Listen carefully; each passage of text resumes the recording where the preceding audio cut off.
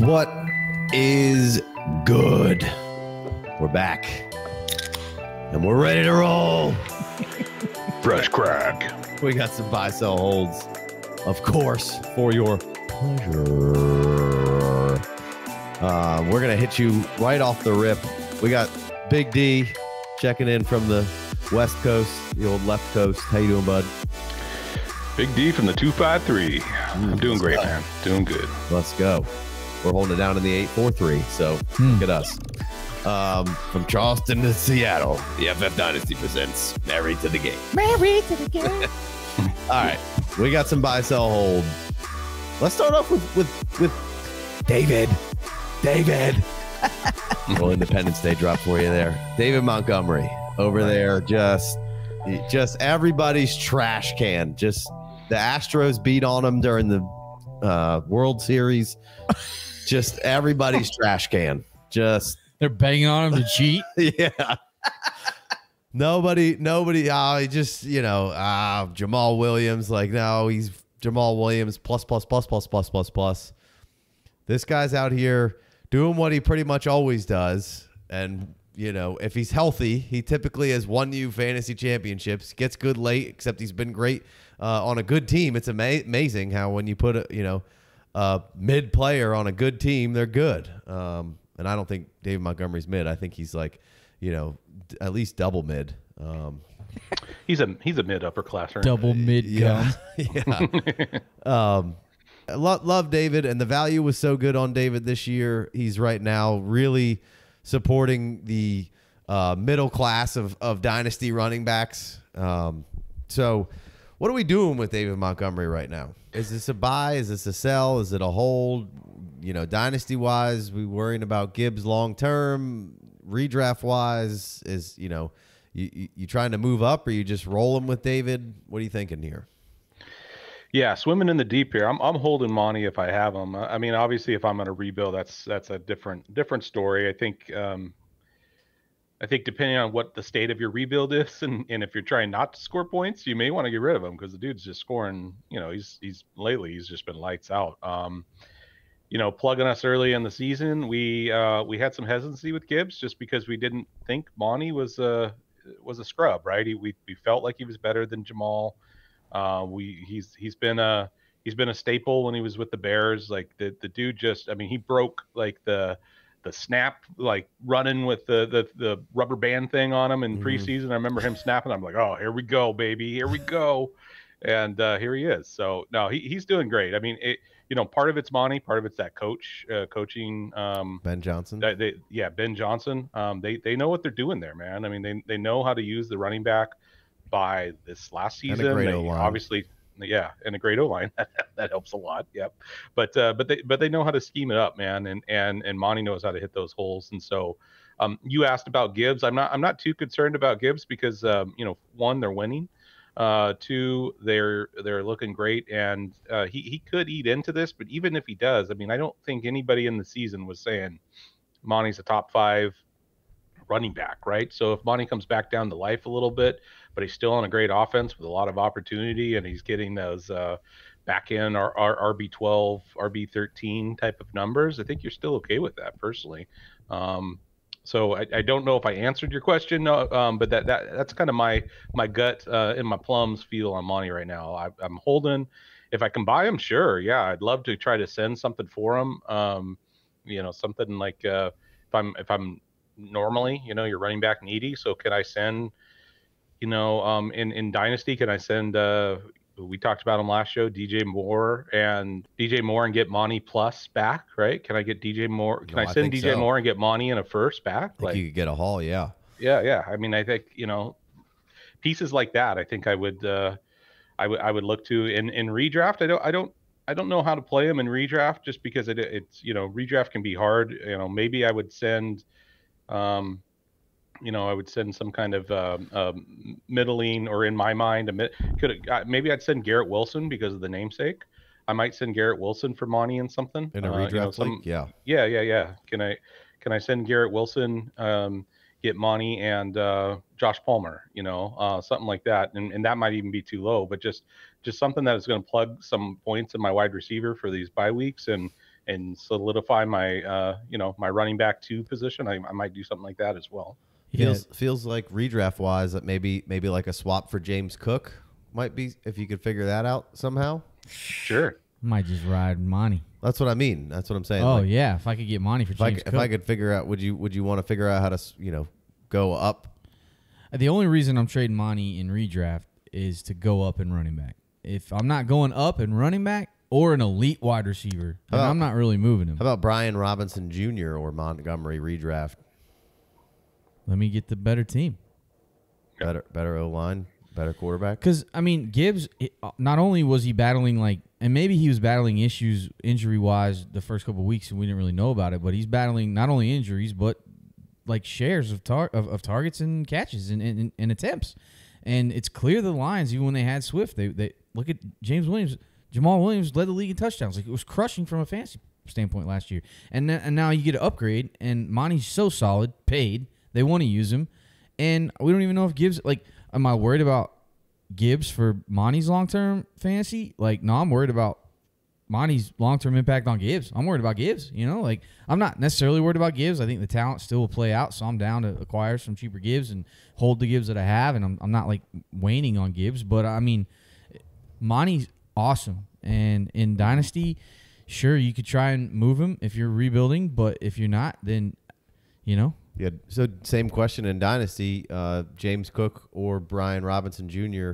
Either one uh, for David Montgomery. Would, were you trying to figure out how to make that move? If you're, I, I guess it really doesn't matter if you're a competing team. Those guys all, all are all kind of in the wash right there, um, points wise uh, or similar. Yeah, I'm down to do that. And when I said when I'm talking about this rebuild thing too, which we, we may or may not get to a rebuild video this week, but uh, I almost wanted to put Monty on there because I have Monty in a team where I think I'm in the midst of a rebuild. I haven't started off well. I lost Mike Williams. I got some injuries. It's a very deep roster, uh, starting lineup requirements, and it's like maybe I should be trying to move off Monty, but he's paid. He's going to be there for another two years. It looks awesome. Like it's a pretty awesome floor with a ceiling that's also there. Yeah. So how far away are you in your rebuild? Do you don't necessarily like. I thought I had another team where I was like, oh man, I'm coming in this year. I'm, I'm probably gonna have to break this down, and we compete for the first overall pick in that. So I didn't trade off like Kamara and Keenan Allen and Tyler Lockett at the end of last year because I wanted to use those guys to compete to get Bijan, which I did, and I drafted Puka. So now I'm like ready to go. I'm like first in points and and and second in record. So one year just like that, I thought I needed to rebuild this team, but I made a couple good moves and got a, made a couple good picks, and boom, I'm ready to go. Um, you know, I, if you're one year away, maybe you don't trade Monty.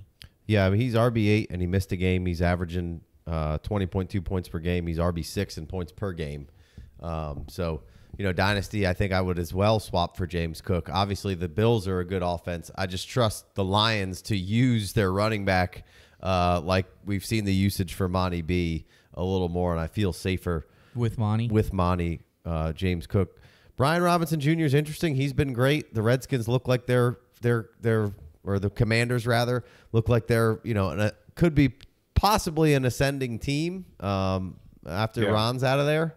Um, they need to transition like those frames, um, but so that one's maybe a little bit more interesting for me. Um, hopefully faster than those frames transition. So Brian Robinson or Monty in in Dynasty, Big D, and we'll move on. Um, I, I think I'm Monty. I, I the the only thing that gives me a little bit of hesitancy with Monty is is uh, Jameson William Williams. Man, I, the meh. uh, Jameson Williams coming back. Um, you know, he, he came back. He didn't. You know, he, he was there, but he was 47% of the snaps. Like it'll be interesting once they have. Um, I, I I'm assuming you both are still on the Jameson Williams train. You Oh, know, sure. talent wise, and so like he's he's a he's he's a pretty high level talent. Can he can he put it to work on the field? That's to be determined. Um, he hasn't really been on the field, so people who are saying he can't, uh, I I don't I'm not listening to. Right. Um, because because uh, you know, his if his availability goes up and he's on the field, then that could um change the way that running game goes. But but again, that that would just be. I I just wanted to bring it up because that is probably the one item I, I'm more concerned. I guess another way to say this, I'm more concerned about Jameson than I am about Gibbs when it comes to Monty.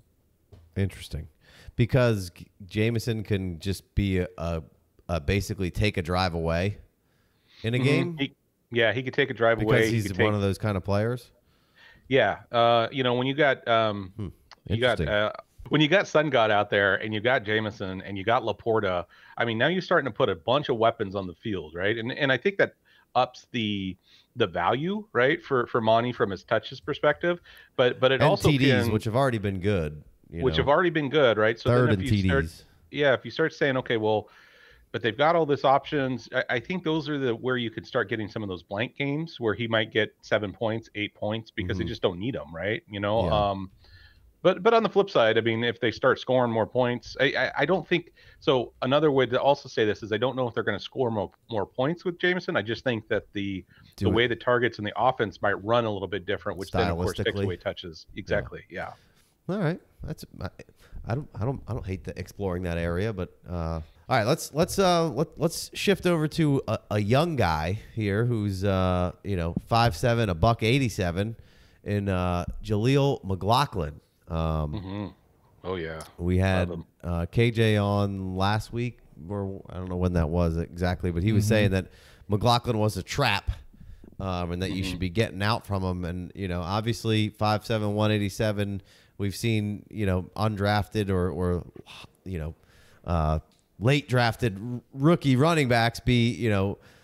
Flashes in the pan, and we've seen some of them kind of stick around. Um, you know, Phillip Lindsay uh, for the Broncos, co- you know, could, could come to mind there. Uh, but McLaughlin comes in right here, and just in week four and five, he's RB nine. Now I'm just saying, in in week four and five, he's RB nine. Um, he's averaged 18.7 points uh, per game. He's put up 8.8 yards per attempt, running back two with a, in his PFF grade. 16 attempts, 140 yards. Number two in yards after contact per attempt with 5.88. In runs of 10 or more, 10 yards or more, five of those in those 16 attempts.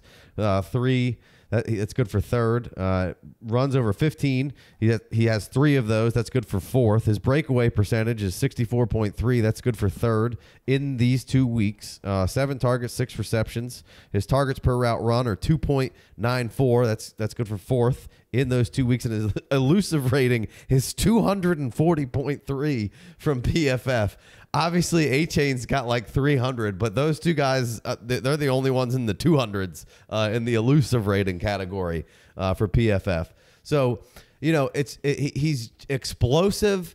He he's passing some some check marks on some of these uh, glassing pushes pusher stats, and then he's passing the eye test. And we know Sean Payton is a guy who seem can be loyal to the guys that he kind of brings in. Um, and Yeah. we've got you know uh, we, we me and Jason were talking about it. Maybe is this his Darren Sproles now? Like you know, Perine's been pretty good when you look at him overall. Uh, but th- basically, they could get out of him if they wanted to him for like a million dead, uh, or they can keep him on the team. And Javonte's coming off an injury, so uh, McLaughlin really could carve out a role here with Sean Payton uh, moving forward. And I, I think you know I think conventional wisdom sell, says you know sell now and see what you can get. Uh, but I, I'm I'm willing to roll the dice in another week or two and see if we can get a little more here. Yeah, hundred percent, man. He, he was one of my dynasty stashes. Um, you know, in FFD two, we threw him on the on the taxi squad. Shout out to Zach. Um, and the, only reason why was um, early reports was he's first in the building, last out. And I know that can get kind of like, oh, okay, but the, the dude wasn't guaranteed a spot on the team, and he was he was he's hungry. He he wanted it. He he wanted the opportunity. He wanted to do. He wanted to show, and he's got his opportunity. And guess what? He's showing. So. Yeah.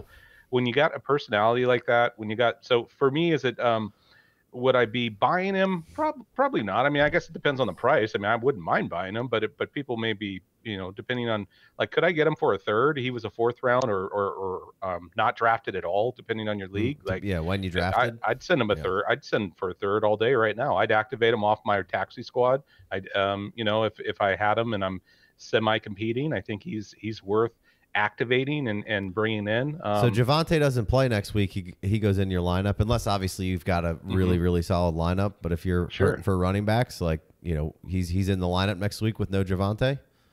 oh yeah, yeah, he was in my flex lineup this week. Uh, Nice. You know, I, I I needed you know part of it's buys and some of it's injury, but I mean he's he he's he's now shown that he's proven that he can at least play a flex play role on your team if, if you need him. You know, um, especially with Javonte out, like you said. Um, I, I you know I and it was against uh it was against the Jets, so let's also take that in consideration. It Yeah. wasn't like it was against you know some. Uh, I- I'm not going to name a name, but it wasn't a bottom run defense type of team. It's not like I they were playing the Broncos. Right. Yeah. exactly. Exactly. Like, I mean, he has to practice against his own team, and he's still this good. So, Yeah. you know, like, no, I mean, but but but he, you know, I, I don't know. He to, to me, he's very interesting. I, I definitely think uh, I would kick the tires on a third um, in redraft. I might I might look at him, um, especially if I'm, you know, Yeah. I- I think there's been enough injuries or inconsistencies where I'm always looking for running backs, no matter no matter what type of play I'm playing. Um, but but but in redraft, he's definitely somebody interesting because I don't think he might be on your waiver wire. Well, he probably isn't now, but but he, you know he he somebody probably scooped him off the waiver wire, and you might be able to get him for um Yeah. pennies on the dollar. So Yeah, no, I, I I'm with you. I scooped him up in some spots. For me, he's he's a hold and start if if one of the running backs aren't there, and then if the run if the, if the value goes up enough, Yeah. then sure I'll cash out. I'm I'm not going to cash out for the third. Maybe if you gave me a two, I might consider. Um, Mm-hmm. you know, what about a two three swap? I give you a two, you give me him and a third. I, I might I might do that. Um, but I mean, it's you know it's hard right now that you're that you're seeing that. I mean, If I don't want running back points in my lineup, I'm down to scoop a two and net a two. But I mean, honestly, I have a hard time not just waiting and seeing with these types of players, especially the way he looks. I mean, Right. Well, that's what I'm saying. Like he passes, he checks some boxes on some of the markers of of production as far as number wise, and then he also checks the boxes of like, holy shit, who's that guy? Yeah, doesn't uh, look like there. he can tackle him. He's Right. not out there very often. Thirty-three percent of the snaps the last two weeks, but damn.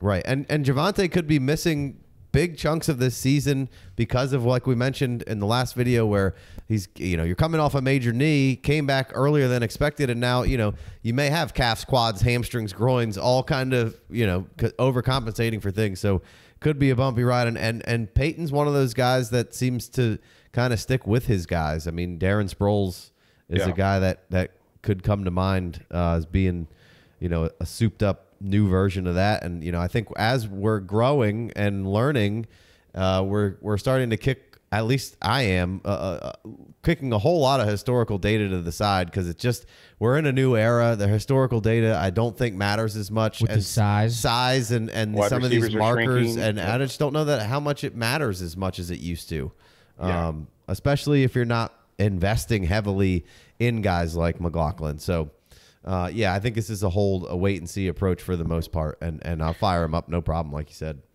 Yeah, but it- but it- I mean, back to our boy KJ. I, I, I he there's nothing wrong with trying to sell him too. I no, mean, you sure. know, if, if, That's if what I let off with. Conventional Yeah, wisdom probably says yeah, sell. exactly. Yeah, exactly. Um, for, for me, it's not so much Javonte, it's it's Samaje. Like he just hasn't looked right. I don't know if he's dealing with something or if there's something else going on with him. Like that's where I think that he he still has some staying value is because he's he's showing that he can. So if Javonte comes back a little bit stronger, I just don't know if Perine is is eh, there. There's a possibility that he could get into that RB two role over Javonte. and- Yeah, I'm, I mean, honestly, like I'd look at it as if Javonte gets healthy and, and can get back to the state that he was, these two are the one two, and Perine fades fades away a little bit. Um, Yeah. So I, I mostly agree with you there. If you look at it as a whole, Perine and, and efficiency numbers are a whole lot better than Javonte, but he's also coming off a crazy injury uh, that he really probably shouldn't even been out there for the first six games. Yeah, to yeah, be honest. So, uh, but yeah, so. All right, uh, let, us keep it moving here. Let's. I want to throw a couple of quick ones in there. Roschon Johnson, we've been on the buy list for a while here, staying on the buy list, going to get an opportunity here. Um, so I, I think, you know, gets the opportunity. I don't think you sell. I think you hold. Uh, or if you can still buy, uh, Roschon's a buy, and Rashee Rice remains on the buy list uh, for us. Uh, just last week. I didn't I didn't get to the number this week, but last week he was tied, and we've been talking about this every single week. Anytime we bring up Rashee Rice, the targets per route run are ridiculous. He was tied with Davante Adams coming into this week in targets per route run. Obviously, Devonte is playing a ton more snaps, but it like. MVS being the leader on this team and snaps and routes run, it's gotta fucking stop. Like he- there's no he's, there's no reason for that guy to be fucking out there. Rasheed Rice is coming. I feel like you know, and I, I just I, I don't. He hasn't exploded yet. He's had some some spots. He's also had some drops.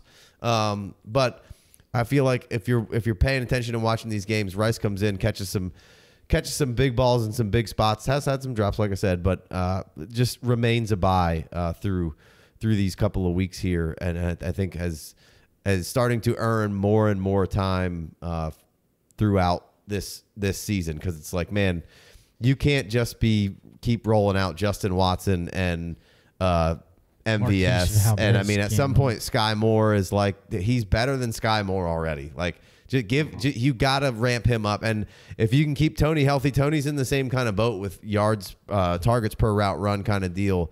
I think Toney and Rice, if they could get healthy, should be the starting wide receivers for this Chiefs, and maybe we'll see it by the end of the season uh, if they can stay healthy and, and not have any bonehead uh, kind of mistakes, kind of that really detriment uh, the Chiefs' abilities to win games. Uh, and any quick thoughts on those guys, Big D? Just on Rice, I mean, his snap percentage is so low, and he's still producing. You know, Right. he's I think he's the target when he's out there. He's the target. I think, Right. and, and and you said that, but but I just want to reemphasize that. Like he's last three weeks, he's had um what 16, 16 targets. Um, and you know, if we take out Kelce, I mean, I think Skyy Moore and could uh, and Toney are at like nine each. Yeah. So uh, he's he's definitely somebody that Patrick looks for. I think as it goes on, and and this Thursday night game will be interesting because if Travis isn't out there, I think we're going to see.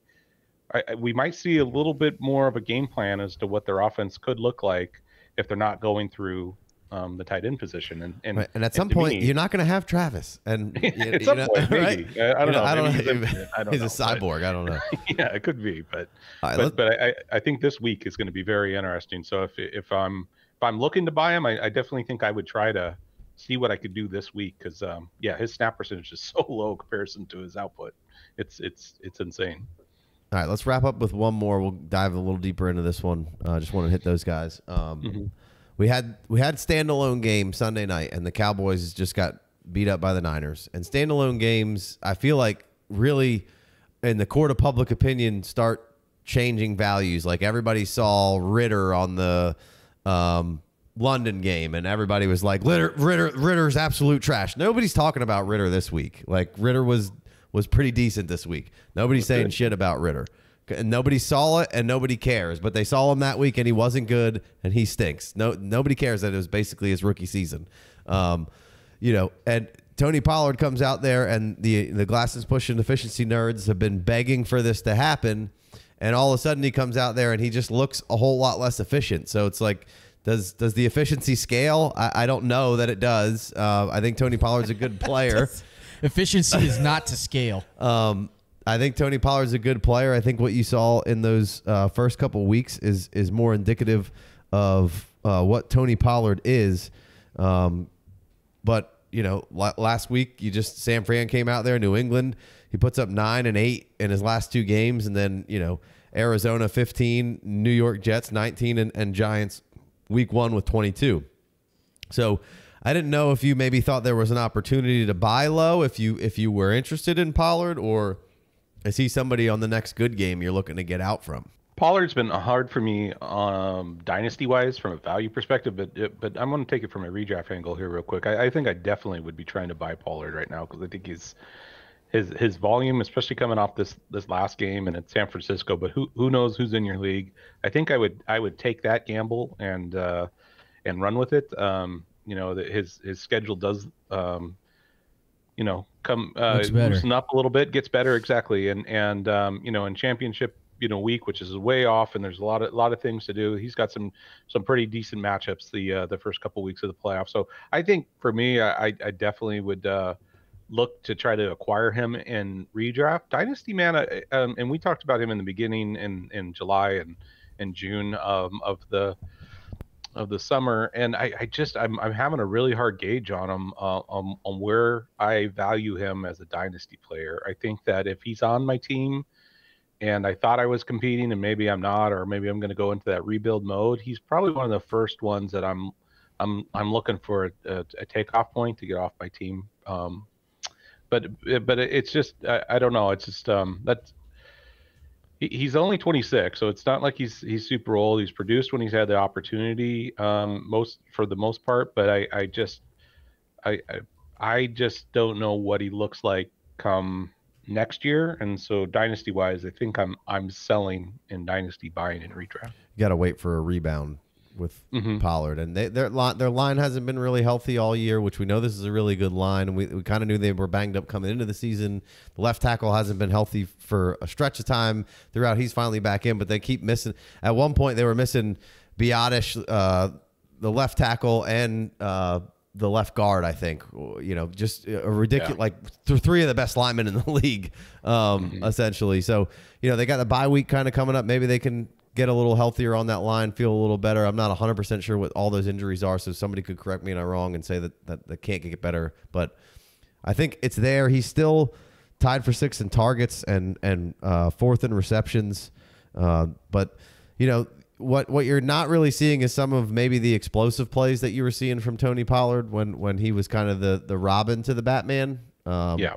And you're I this a guy on Twitter, Jacob Gibbs here. He's got a, a stat that says uh, Tony Pollard is the lowest avoided tackle rate uh, at seven percent. So that's not something that you thought would be in Tony Pollard's you know bingo squares. Uh, he, he was always a fairly elusive guy. His missed tackles, missed forced tackles, he's only got six. That's 35th. Yards after contact per attempt, 7.58. That's good for 29th. So in some of those other stats, he's down low. Now he does have six runs of 10 or more. And that's, you know, that that's okay, but still only 20th. So we're missing some of the explosives a little bit. Even, you know, the 15 yard runs are a little better. He's got four. He's tied for eighth there. Um, so, but the 41st ranked PFF running back right now, uh, as far as their running grade, which isn't the end all be all by any means. He's still RB 10, uh, 14.9 points per game. That's RB 14.